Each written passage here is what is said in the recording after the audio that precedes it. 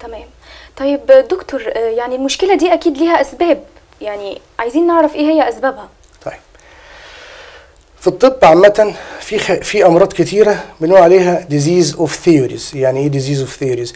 يعني الأمراض كتير ليها أسباب، لكن في أمراض بيجي ندور على السبب اللي عمل المرض ده ما نكتشفوش. نقعد وإحنا متأكدين المرض ده موجود وليه أعراض وبيعمل مشاكل، لكن إيه اللي وصلنا للمرض؟ لا نعرف. فلو سألتيني إيه اللي بيخلي وجود خلايا بطانة رحم بره الرحم؟ ما أقولك ما أعرفش. لكن في نظريات كتير.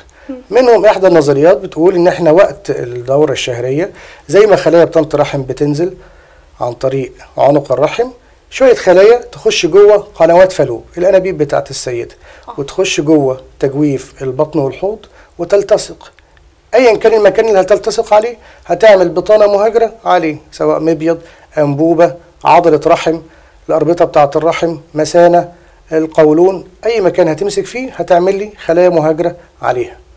طيب في بعض النظريات يقول لك لا هو كل الستات بيحصل لهم ال retrograde menstruation أو ارتجاع الطمث اللي بنقول عليه إن هي تخش عن طريق الأنبوب.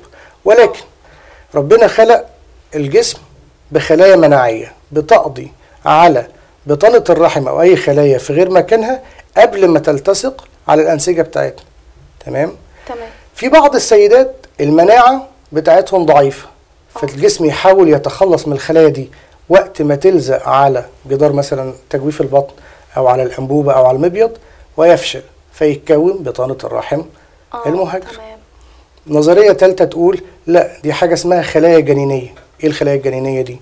الخلايا الجنينية عبارة عن خلايا تقدر تتحول لأي خلايا في الجسم اسمها undifferentiated stem cells دي موجودة مع خلقة السيدة دي وجت في مرحلة معينة قررت إنها تتحول لخلايا بطانة رحم فعملت خلايا شبيهة بخلايا بطانة الرحم وعشان هي شبيهة ليها بتتفاعل هرمونيا زيها بالظبط